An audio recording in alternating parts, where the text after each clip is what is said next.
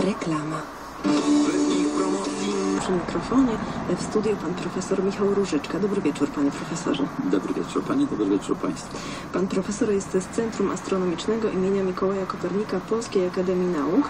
Być może Państwo o tym słyszeli. Otóż Jowisz ma już 68 satelitów, 67 naturalnych i jednego sztucznego, który wszedł na jego orbitę we wtorek nad ranem polskiego czasu. W Stanach to był 4 lipca, zdążyli jeszcze na Dzień Niepodległości. Chyba tak celowali e, od początku, bo sonda leciała jakiś czas, 5 lat. Zanim może dokładnie byśmy powiedzieli, na czym ona ma polegać, co ma stworzyć, to ja muszę przyznać, że na mnie jednak to zawsze robi duże wrażenie. Tak długie planowanie i też planowanie trasy takiego statku, takiej sondy, bo przecież ona nie leci w żadnej linii prostej czy coś takiego. To Nie, trzeba ona się leciała powywijać. dość skomplikowanym torem. Po dwóch latach od startu zabłądziła, oczywiście celowo zabłądziła, pobliże Ziemi, która udzieliła jej tak zwanej grawitacyjnej asysty. Czyli, Czyli kopniaczka, rozpędziła, tak. kopniaczka dała, Mhm. y, posyłając y, z większą prędkością w stronę Jowisza. Nawiasem mówiąc, wtedy Juno nakręciła bardzo no, sympatyczny film No tak się nazywa ta sonda. tak. O, o tym, jak, e, jak to wygląda Ziemia i Księżyc, kiedy się je mija z bliska. Można obejrzeć na YouTubie. Polecam. Więc trasa skomplikowana. Trasa, trasa skomplikowana. y, Nigdy się nie lata po prostej. No, W kosmosie y, zawsze trzeba tak wybrać drogę, żeby to jak najmniej kosztowało w sensie paliwa. No i co się z tym wiąże pieniędzy oczywiście też. No i wykorzystuje się między innymi właśnie pomoc ze strony grawitacji rozmaitych planet.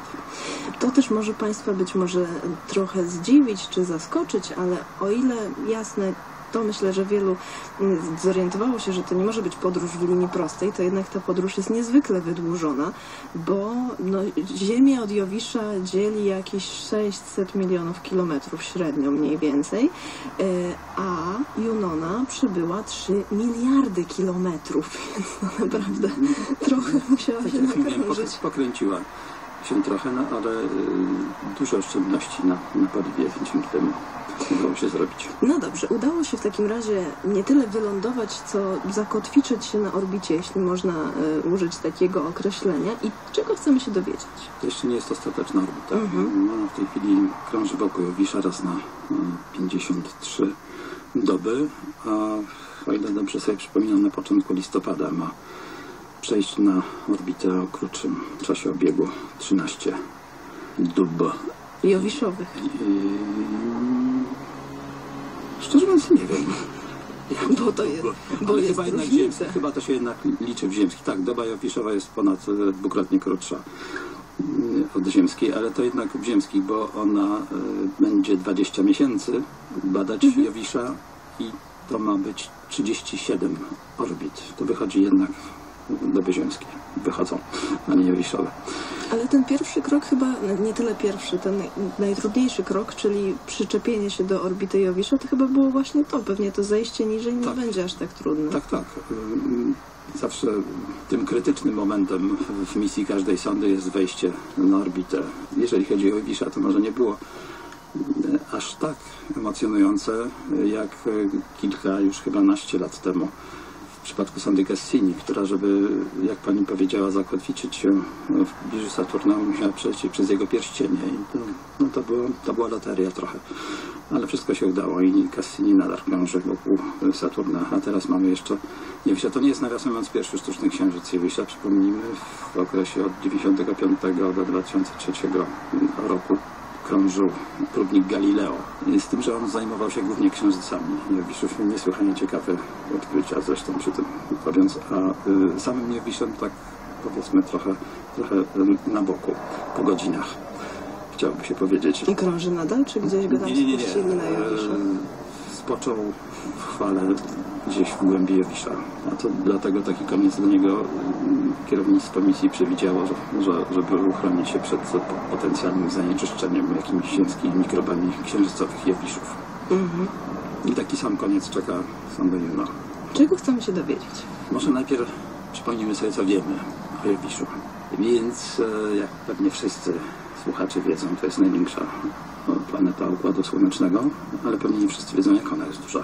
Mianowicie Ma objętość tysiące razy większą niż Ziemia, średnicę 10 razy większą, jak łatwo policzyć, a masę 300 razy mniej więcej większą niż Ziemia i to może niewiele mówi, ale ta masa jest 2,5 raza większa niż masa wszy- wszystkich pozostałych planet. Razem wzięte. No także Jowisz zdecydowanie dominuje w Układzie Słonecznym. Zabawne być może dla niektórych wyda się to, że y, nie tylko Słońce zmusza Jowisz do kręcenia się wokół niego, ale także Jowisz zmusza Słońce do kręcenia się wprawdzie nie wokół niego, ale wokół środka masy układu Słońca Jowisz, który znajduje się poza Słońcem. Także Słońce z okresem e, równym okresowi obiegu Jowisza, czyli mniej więcej 12 lat, e, kręci się wokół tego środka. Czyli rację mają ci, którzy kontestują do tej pory. W pewnym sensie tak. W pewnym sensie tak. E, Co jeszcze ciekawego? Ma największą liczbę księżyców, o której, której zresztą Pani już wspomniała, rzeczywiście 67, ale ogromna większość z nich, bo 59, jeśli dobrze pamiętam, są takie malutkie planetoidy złapane przez grawitację Jowisza. A przy tej okazji mała dygresja, Jowisz bardzo ważną rolę z naszego punktu widzenia pełni takiego swoistego odkurzacza. E, Ściąga e, małe ciała albo na swoją orbitę, albo wręcz e, doprowadza tak w siebie. O- Obserwowaliśmy niedawno zderzenie Jowisza z kometą e, prawie 20 lat temu, już ponad 20 lat temu. Bardzo szczegółowo zderzenie Jowisza z dużą kometą Shoemaker-Levy, czy Levi. No, Jowisz najpierw rozdarł tę kometę na 20 kilka kawałeczków no, swoimi siłami przypływowymi, a potem jeden po drugim te kawałki wpadały w Jowisza, wyzwalając przy tym energię na jakimś tam gigantycznym megatomem. Widać było, jak to się wszystko rozpływa pomału. Czyli to nasz ochroniarz. Nasz, to, to jest nasz ochroniarz i jeśli już mówimy o tym, co robić z ciałami, to warto też wspomnieć Zamykamy to okno i już. Jak dotąd co symulacjami Nie wolno. tylko numerycznymi, e, zgodnie z którą to, że mamy wodę na Ziemi, zawdzięczamy także Jowiszowi. Dlaczego? Bo Ziemia formowała się w takim obszarze wokół młodego Słońca, w którym nie było lodu. Ani śniegu, było, za ciepło. No, w związku z tym e, te e, małe ciała, małe planetoidy, y, które się sklejały sukcesywnie w Ziemię, nazywane fachowo, y, były prawie bezwodne, lokalne, a te nawodnione czy też uwodnione ciała y, podobnej wielkości znajdowały się poza tak zwaną linią śniegu, która gdzieś mniej więcej w połowie odległości między Marsem a Jowiszem obecnie y, jest umiejscowiona, a dawniej na początkach Układu Słonecznego Pewnie trochę, e, trochę dalej, trochę bliżej Jowisza. No i za tej granicy Jowisz, e, tak to wykazują przynajmniej symu- symulacje komputerowe, zrzucał nam takie bryłki śniegu, czy też raczej bardzo duże bryły śniegu i lodu. No, jeżeli, jeżeli to jest prawda, no to jest współ, współodpowiedzialny za to, że życie się pojawiło na No, naszej powinniśmy planecie. wszyscy być wdzięczni. Co jeszcze Także ciekawego widzisz, o tej planecie można powiedzieć? kosmosie, e, a tu jest RMF No na mnie robi 24, wrażenie to jednak, e, na przepraszam, lubię jakoś tak. I robi na mnie że wrażenie to, że on jest tak olbrzymi. Jeśli Państwo zwrócą uwagę, są w internecie takie porównania, jak wygląda takie modele i Ziemi, dziecka Jowisza w odpowiednich proporcjach, to Jowisz jest chyba jedyną planetą, którą Słońce może faktycznie zauważyć, że o, jest jakiś taki gość, który lata dookoła mnie, cała reszta to są jakieś takie malutkie e, kuleczki. Ktoś Tak, to, o tym właśnie mówiliśmy, kiedy wspomniałem, że. Jowisz zmusza Słońce do dokręcenia się Właśnie, właśnie. Mhm. I on ma e, na równiku, tak jak Pan mówił, jest e, dużo większe od Ziemi, a porusza się tak szybko wokół własnej osi. Ta doba 10, odkryto tam 10 godzin 20 jakoś robi na mnie e, spalono wrażenie. Muszę przyznać, jak to szybko musi kręcić i Policja zatrzymała nasza dziś mężczyznę, który może mieć związek z tą sprawą. Śledczy wstępnie e, wykluczyli motyw kradzieży zwłok. E, Jak usłyszał w tak, prokuraturze Jowisz, rejonowej w e, bardzo reporter RMF, mamy tu do czynienia z wyjątkowo e, barbarzyńskim 10 godzin. aktem wandalizmu. No Oprócz zdewastowanych krzyży na grobku, jeden z powiedzieć. grobów e, był. Z rozkopany, a e, w cmentarnym śmietniku znaleziono spaloną dziecięcą trumnę. Tej- do tej pory, e, dla dobra dokładnie nie wiadomo, podają w ogóle do tej danych pory zatrzymanego mężczyzny. Niewykluczone, że dzisiaj zatrzymane zostaną kolejne osoby na powierzchni Wisły będziemy uważali to miejsce w jego atmosferze, w którym e, ciśnienie jest równe ciśnieniu atmosfery ziemskiej, czyli jedna atmosfera. Czyli sobie arbitralnie wybrać. za Łącz. Na tej powierzchni nieco pod nią, a przestrzeń pod tą powierzchnią została zbadana przez próbnik wyrzucony z sondy Galileo, który zresztą też się nazywał Galileo, żeby było się trudniej zorientować. Za- zanurzył się na głębokość stu kilkudziesięciu kilometrów. No i stwierdził, że wiatry, jakie tam wieją, osiągają prędkość ponad 600 km na godzinę. Także to kolejne, kolejna liczba z, z z z tych teraz. nieziemskich. No w ogóle skład Jowisza jest e, interesujący. Zdaje się, że jest na nim coś takiego jak metaliczny strony wodór. To znaczy z wodorem dzieje się coś takiego, z naszym swojskim wodorem dzieje się coś takiego, że on się zachowuje jak metalem, może przewodzić prąd. I zgodnie z tym, co, co, co, co wiemy do tej pory o Jowiszu, to jeśli chodzi o skład, to to jest raczej gwiazda niż planeta, ponieważ składa się głównie z wodoru i z chleba, czyli z tego co Słońce, z jakąś tam wagowo zupełnie zaniedbywalną, nieistotną Naprawdę. dokładką cięższych pierwiastków. Budowa Jowisza że nie jest znana, mimo tego, że tam latał przez kilka lat Galileo i że ta sonda, ten próbnik Galileo 2, tak go nazwijmy dla odróżnienia, wbił się w jego atmosferę, to niewiele wiemy o, budowie wewnętrznej. W szczególności jednym z problemów, takich palących, chciałoby się powiedzieć, y, jest y, kwestia istnienia bądź nieistnienia skalistego jądra. Może nie tyle skali, skalistego, co budowanego z materii w stanie stałym. Dlaczego to jest takie istotne? Dlatego, że nie znamy lepszej metody na wyprodukowanie planety, takiej jak Jowisz, niż e, stopniowe e, posklejanie się planet, planetozymali, o których wspomniałem, w obiekt wielkości kilkunastu Ziemi, o masie równej kilkunastu masom Ziemi. Który to dopiero obiekt e, jest w stanie w protoplanetarnym dysku przyciągać Czyli przedplanetarnym przedplanetarnym, tak, e, przyciągać materię gazową w stanie gazowym, czyli ten wodór i, i hel, Czyli- się obecnie, tak. Nasz pomysł jest taki, że latają pomysł- sobie kamyczki taki, różne, sklejają się ze sobą. jądro jowiszowe, jak zresztą w przypadku każdej wielkiej planety. Najpierw powstaje jądro, przypadkowych które osiąga- zderzeń, tak, które osiąga taką masę przede wszystkim, że y, jego grawitacja będzie w stanie ściągać gaz z otoczenia gaz, czyli y, wodór i hel. I jeśli okaże się, że Jowisz ma takie jądro, to znaczy, No że mamy rację. do tej pory nie widać tego jądra. Właśnie na tym polega cały problem, który jest jednym z problemów postawionych przed, przed sądą Juno. Stwierdzić, czy, czy to jądro tam jest, czy nie. E, Bo jeżeli, jeżeli by go nie było, no to otwierają się dwie możliwości. Albo Jowisz powstał w zupełnie inny sposób, poprzez, raczej dzięki tak zwanej niestabilności grawitacyjnej. Bardzo luźno rzecz opisując e, fragment tego dysku protoplanetarnego, który krążył wokół młodego Słońca, e, stracił równowagę. E, Grawitacja zaczęła w nim przewyższać e, ciśnienie i siły związane z tym, że ze rozmaitymi prędkościami się jego części poruszały i po prostu pod wpływem tej niestabilności grawitacyjnej, tak jak samo Słońce, niezależnie zupełnie, uformowała się planeta.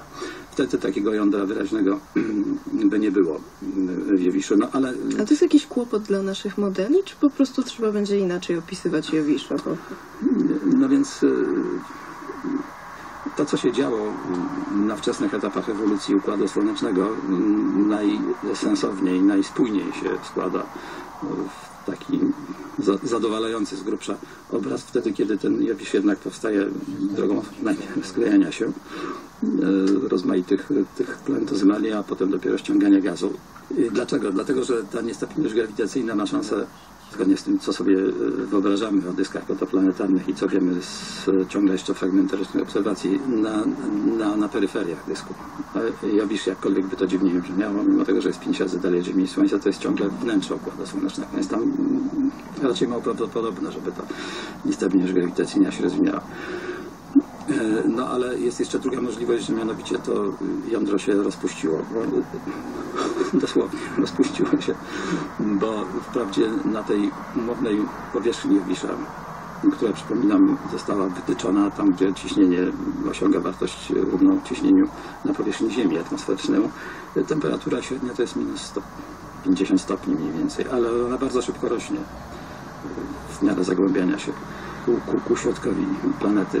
No i, no oczywiście niezbyt dokładnie wiadomo, jak, jaką, jakie wartości osiąga, ale na pewno bardzo wysokie w centrum. Także y, to jądro mogło się przetopić i, i wymieszać z resztą Jowisza. A w jaki sposób sonda może się dowiedzieć, czy jest tam takie jądro nie tyle skaliste, tylko właśnie stałe? Ona nas będzie o tym powiadamiała, wysyłając sygnały radiowe, trochę tak jak GPS, dzięki którym bardzo dokładnie będzie można śledzić to, jak ta y, orbita y, będzie przebiegała. Zależy od rozkładu masy wewnątrz Jowisza. Także Czyli taką jeśli- bardzo okrężną drogą, i- ale Pośrednio to się da bardziej. robić, tak, ale to się daje robić. Okej. Nie, nie, nie trzeba wiercić w Jowiszu, żeby, No to mielibyśmy kłopot chyba żeby, żeby, żeby do niego do środka zajrzeć w przenośni.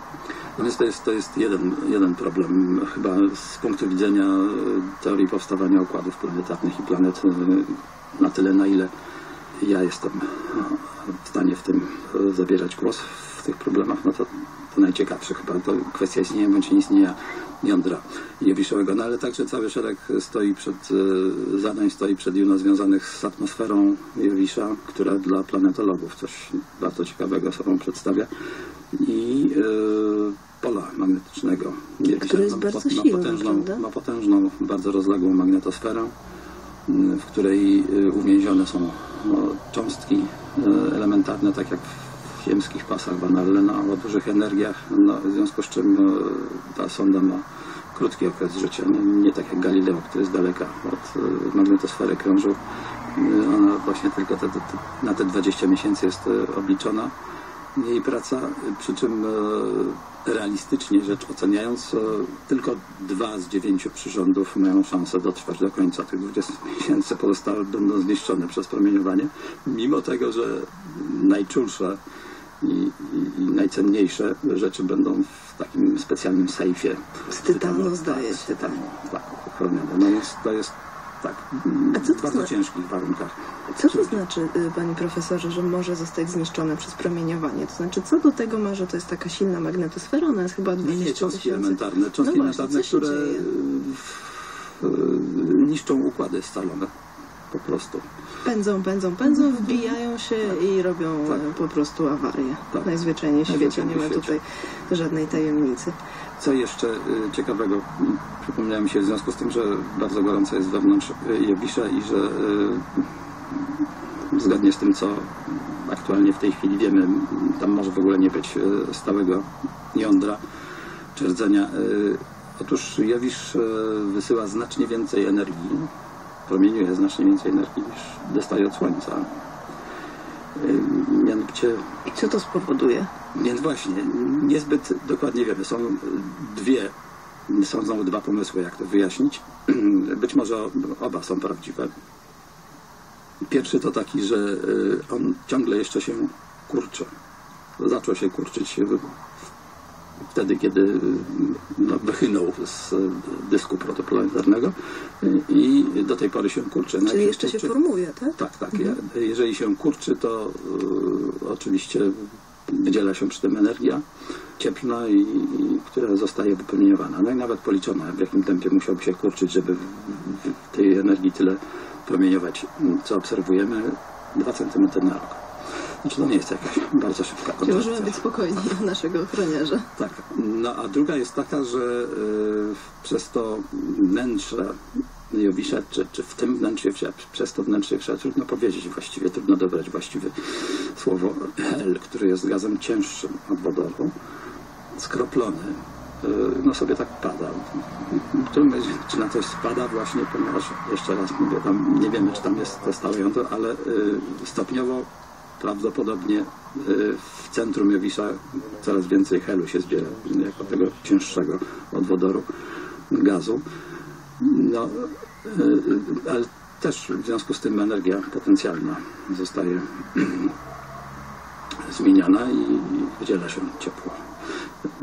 Prawdopodobnie oba te procesy odgrywają jakąś rolę, ale jakie, jaką każdy z nich tego w tej chwili nie wiemy, być może Juno właśnie pozwoli to stwierdzić.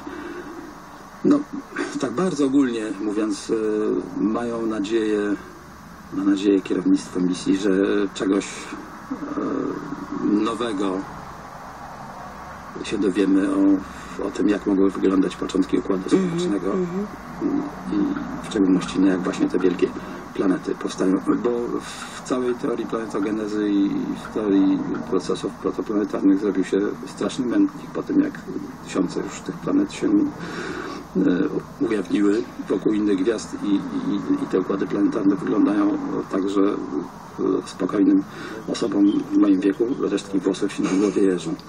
No To właśnie, zupełnie nie pasuje do nic nie pasuje. tak. Ale to, panie profesorze, skoro już potrafimy tak dużo planet pozasłonecznych e, obserwować i się już liczy w setkach, jak nie lepiej, Tysiące. w tysiącach już właśnie, dziękuję bardzo, no to dlaczego nie znaleźć po prostu jakiegoś takiego dysku protoplanetarnego, trochę mu się poprzyglądać, potem znaleźć taki dysk w innym etapie rozwoju i normalnie po Bożemu od początku do końca to rozrysować? znajdujemy dyski protoplanetarne. Nieocenionym przyrządem okazał się ten ogromny, olbrzymi zestaw radioteleskopów ALMA, który ESO do spółki z kilkoma e, państwami zbudowało. ESO, czyli Europejskie Obserwatorium Południowe na pustyni Atacama w Chile na wysokości 5000 metrów nad poziomem morza. On dlatego tak wysoko, że tam jest nad e, tym plateau jest już bardzo mało pary wodnej, która przeszkadza w obserwacjach prowadzonych w zakresie, w jakim właśnie ten, to, to urządzenie pracuje, czyli w zakresie mikrofalowym. I, i, otóż dzięki Almie e, zobaczyliśmy e, po raz pierwszy wyraźnie dysk protoplanetarny wokół gwiazdy. Sto kilkadziesiąt lat świetnych, jeśli dobrze sobie przypominam, odległej od nas, e, ze strukturą jego, ze strukturą taką, jakiej oczekiwano na podstawie na po symulacji komputerowej. To znaczy e, widać wyraźnie e, parę e, tak zwanych przerw, czyli miejsc, w których e, albo prawie nie ma materii, albo wręcz w ogóle nie ma. To oznacza, że jest w innym Co- miejscu. Co, co, oznacza, co oznacza, że y, to, ona została wyjedzona albo też wyrzucona z tego miejsca przez krążącą tam planetę, która się formuje dopiero. I w zasysy. No więc, więc y, y, y, y, wracając do, do tego, co, do, do, do Pani pytania. Y, widzimy dyski protoplanetarne, ale y, no, mimo, mimo tak wspaniałego, mimo tego, że dysponujemy tak wspaniałym urządzeniem jak Alma, nie jesteśmy w stanie ich badać y, bardzo dokładnie. Y, y, Są po prostu za daleko. Także y, no, każdy sposób na zdobycie y, świeżych informacji y, o, o początkach Układu Słonecznego jest dobry. Jak się wydaje, Jowisz może się tutaj przydać bardzo. Myślę, że to jest trochę niezwykłe, pewnie też dla wielu naszych słuchaczy, że jesteśmy w stanie, my jako ludzkość nauka, zaglądać tak głęboko w wszechświat, sprawdzać różne rzeczy, dowiadywać się o czarnych dziurach, badać fale grawitacyjne, rejestrować się, co się teraz e, udało, które są pochodzą z odległych źródeł, a jednocześnie tak wiele jeszcze o naszym swojskim Układzie Słonecznym nie wiemy. No cóż, e, nauka nigdy, przynajmniej za mojej pamięci, nigdy nie twierdziła, że już wszystko e, odkryła i że e, wszystko jest zrozumiałe. Nie, wprost przeciwnie, tylko dzięki temu może się e, rozwijać, że jest gotowa na wycofanie się, na sformułowanie nowych hipotez i nowych teorii. To trochę jak biologia, która do tej pory sobie nie poradziła z tym w pełni, jak funkcjonuje ludzki mózg, prawda? No tak, a jeżeli chodzi o, o, o, o, to, co Pani powiedziała przed chwilą o naszym Układzie Słonecznym i o, całym kosmosie, no to dla mnie ma olbrzymie, no wręcz niewysłowione znaczenie e, światopoglądowe. No, gdyby chcieć, e, tak jak nasi przodkowie paręset lat temu, wierzyć, że e, zostaliśmy stworzeni przez jakąś istotę wyższego rzędu, taką nazwijmy oględnie, to można nabrać bardzo dużych wątpliwości co do umiejętności tej istoty wyższego rzędu i jej kompetencji w tworzeniu. E, Można zapytać, po co na miłość boską taki Jowisz? Może komu on jest potrzebny? No mówił Do pan, czego? chroni nas. Ale przecież e, dobrotliwy stwórca by zadbał o to, żeby nie było żadnego śmiecia w ogóle i żeby nie był potrzebny odkurzacz do jego sprzątania. Jest Ziemia sobie jest w centrum wszechrzeczy, dookoła niej krąży ta lampa, nazywamy Słońcem i wszystko jest w porządku, nic więcej nie potrzeba. Czyli co, wszystko przypadek? Na to wskazuje. Na to wskazuje. Znaczy, trudno mówić o przypadku, bo przypadek e, kojarzy, się, kojarzy się zwykle z chaosem, z czymś zupełnie absolutnie przyjdzie. Nie, są prawa e, przyrody. Gdyby, gdyby ich nie było, to rzeczywiście wtedy trudno mówić o jakichkolwiek ukierunkowanych w jakąkolwiek stronę procesach. Nie, są prawa przyrody, z tym, że one są na tyle skomplikowane, że y, efekty ich działania y, dają się przewidzieć tylko w bardzo prostych przypadkach, no żeby daleko nie sięgać. W dalszym ciągu z przepowiedniami, z prognozami pogody jest nie najlepiej, prawda? Mimo tego, że to jest bardzo prosta fizyka XIX-wieczna. Myślę, że ten błąd, który się panu wkradł, przepowiednie pogody są bardzo znaczące. Otworzył pan teraz oczywiście gigantyczny temat i część mogłaby zareagować mówiąc, no ale przecież dzięki tym prawom przyrody właśnie to tak funkcjonuje i tak dalej, i tak dalej. Można by o tym rozmawiać godzinami. Y, Tak, no niektórzy y, widzą palec Boży, ten słynny palec Boży w tym, że y, istnieją, że istnieją prawa przyrody. Gdyby nie istniały pra- prawa przyrody, to nic nie istniało, byłby jeden wielki chaos. Więc dobrze, no jeżeli im to wystarcza do tego, żeby poczuć istnienie Boga, proszę bardzo, mnie nie wystarcza w e, szczególnym doborze parametrów, które opisują wszechświat. No ale no, no bez trudu, naprawdę. No, nie, nie trzeba być fachowcem, fizykiem, ani astronomem, ani biologiem, żeby zobaczyć, że naprawdę no, wszechświat, który, czy świat, który o wiele lepiej odpowiada ludzkim potrzebom niż ten, w jakim żyjemy, ym, można sobie wyobrazić. No i pytanie, dla- dlaczego wszechmogący Stwórca nie zrobił właśnie czegoś takiego, tylko, tylko to, co, to, co mamy e, z tym, z tym Wiewiszem właśnie, od którego zaczęliśmy. Sonda Junona będzie także robiła dużo pięknych e, zdjęć. Nie ma na to wiele czasu, bo jak mówiliśmy, dość szybko chyba się zepsuje aparat przez No tak. promieniowanie. Nie poruszyliśmy tego wątku, a przecież Jowisz jest e, piękny, no, jako bardzo fotogeniczny. E, Niesłychanie kolorowa planeta jest, przy czym niezbyt dokładnie wiadomo dlaczego. Właśnie to jest też jedna z rzeczy, którą ona ma wyjaśnić. Te jego pasy mienią się rozmaitymi barwami. E, Nie wiadomo dlaczego. To są e, ślady mm, stałych wiatrów, tak jak na Ziemi pasaty, powiedzmy. E, Tam wieją stałe wiatry, tylko o wiele bardziej skomplikowane niż na naszej Ziemi, o wiele szybsze, jak już mówiliśmy. I dlaczego takie, a nie inne barwy mają, niezbyt dokładnie wiadomo. No, są też gigantyczne cyklony, z których najsłynniejszym jest słynna czerwona plama, chyba jeszcze przez Galileusza odkryta. E, No, e, e, dlaczego ona jest czerwona, też nie wiem. No. Panie profesorze, niech pan proszę powie na koniec, czy naukowca z doświadczeniem takim jak pan tego typu sondy, fotografie odległych planet jeszcze wzruszają? Ależ oczywiście. Zawsze. Po, po, po prostu tak jest. Nie ma się co nad tym rozwodzić. No to jest coś, coś dla pokolenia e, moich rodziców zupełnie niewyobrażalnego, że można zobaczyć, dajmy na to tego Jowisza, tak jakby się nad nim wisiało w odległości no, tych 10 czy 12 tysięcy kilometrów i, i mieć to u siebie na biurku. W telefonie, który mieścimy, gdzieś e, w kieszeni.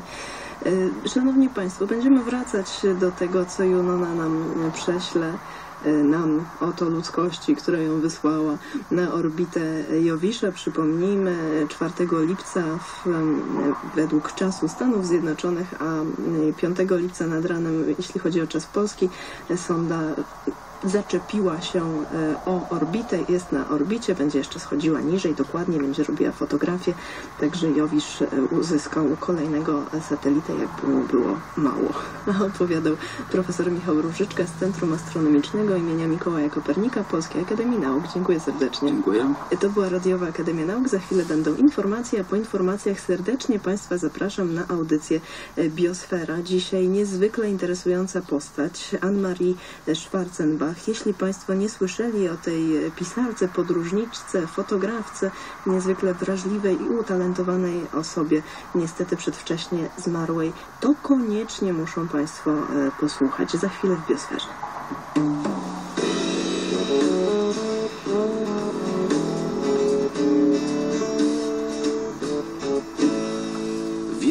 Radia TOK FM.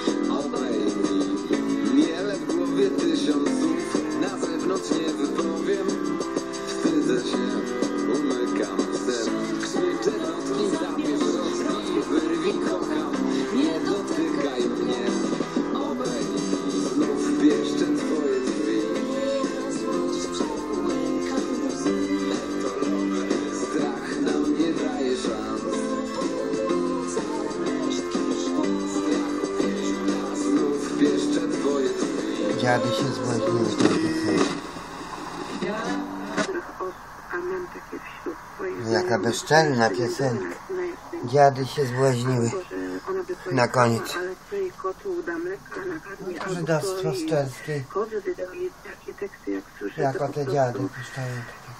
Nie dowierzam, piosenki. nie, nie mogę w to uwierzyć. Ani to potrzebne, co komu, ani to grzeje, ani to na A raczej jeszcze i- wibracje takie. I w tym roku Vibration. nie będę na Górze, chociaż bardzo na tym boleję, planowałam. Nawet że nie umieją powiedzieć wibracje. Się Vibration. teraz przez okres wakacji, zajmuję się wnosiami, a że wyjeżdżają na czasy, będę miała czas wolny, ale zostawię sobie ten wyjazd na Jasną Górę na przywitanie Ojca Świętego. Więc pojadę, e, więc będę na Jasnej Górze, potem na pewno jeszcze pojadę na 15 sierpnia. I już mam siostrę, że tak powiem, na recepcji w nocnego z znajomą, więc problemu nie ma 15 sierpnia z noclegiem. I tak jak patrzę, ludzie mm, po prostu na wyścigi na Jasnej Górze, na Jasnej Górze są na wyścigi, tak, co pierwszy gdzieś tam do jakiegoś straganu, co pierwszy gdzieś tam po wodę święcono, to wszystko jest biegiem. I, a ja na Jasnej Górze jestem, jestem, cieszę się, przeżywam, modlę się, obserwuję też ludzi, obserwuję tak jak ojciec y, tak mówi, że godnie się trzeba ubrać, ludzie się ubierają niegodnie, niegodnie, wręcz y, po prostu chociaż są napisy, że nie można, mężczyźni nie mogą w krótkich spodenkach, kobiety w tych roznegliżowanych strojach, to po prostu jest żenada, jak się katolicy zachowują w tych świętych miejscach. I jak ojciec Rydzyk mówi, że jeśli nie teraz, to nigdy. I to jest święta prawda. A tak jak powiem księdzu po raz kolejny, że byłam w tym roku pod stawcami 44 raz i jeszcze w tym roku będę, jeśli mi Pan pozwoli, jeśli się, mm, e, bo tak jak e, cytat jest taki, że jeśli chcesz rozśmieszyć Pana Boga, to sobie planuj, więc są takie moje plany, ale to niech się dzieje wola Boża, to wszystko powierzam Duchowi Świętemu i Matce Najświętszej i apeluję do, apeluję do Polaków, do pielgrzymów, Mhm. nie odkładajcie, nie odkładajcie tego, niech się stanie.